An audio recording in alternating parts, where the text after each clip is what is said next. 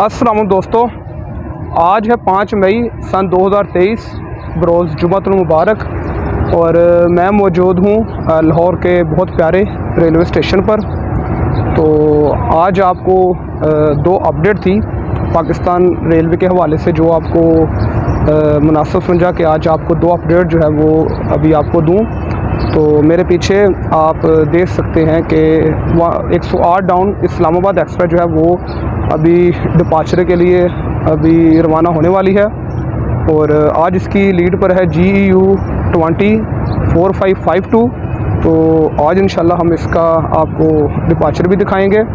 तो सबसे पहले अभी एक सौ आठ डाउन का भी टाइम हो चुका है डिपार्चर का। तो अभी सबसे पहले हम इसका डिपार्चर देखते हैं।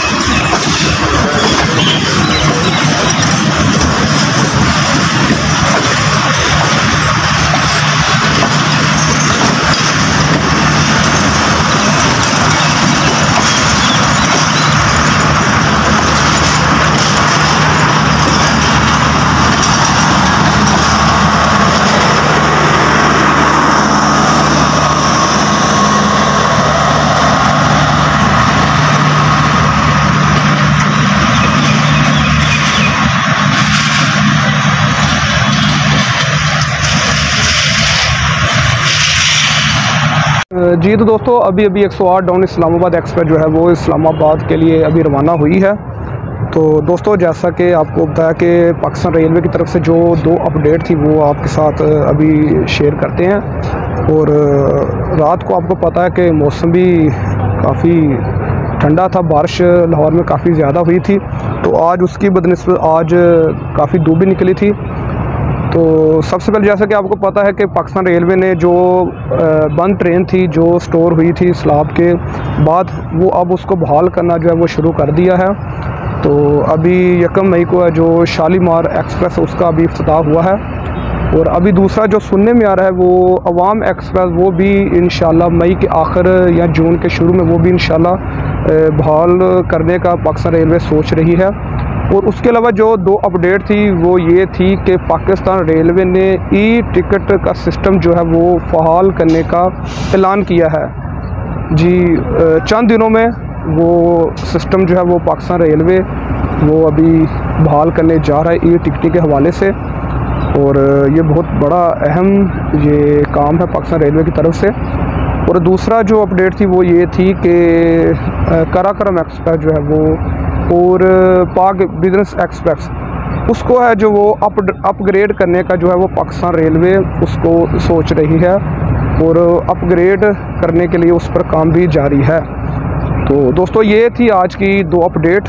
एक तो वो ई टिकट के हवाले से और दूसरा जो है वो कराक्रम और पाक बिज़नेस एक्सप्रेस उसको जो है अपग्रेड किया जा रहा है। तो इन जैसी मज़ीद जो है पाकिस्तान रेलवे की तरफ़ से अगर कोई अपडेट आई तो इन अपने दोस्तों से उसको ज़रूर शेयर करेंगे। तो जाते जाते आप दोस्तों से गुजारिश है कि रेल जंक्शन पीके को ज़्यादा से ज़्यादा सब्सक्राइब कीजिए और, अल्लाह हाफिज़, पाकिस्तान, जिंदाबाद, पाकिस्तान रेलवे, पाइंदाबाद।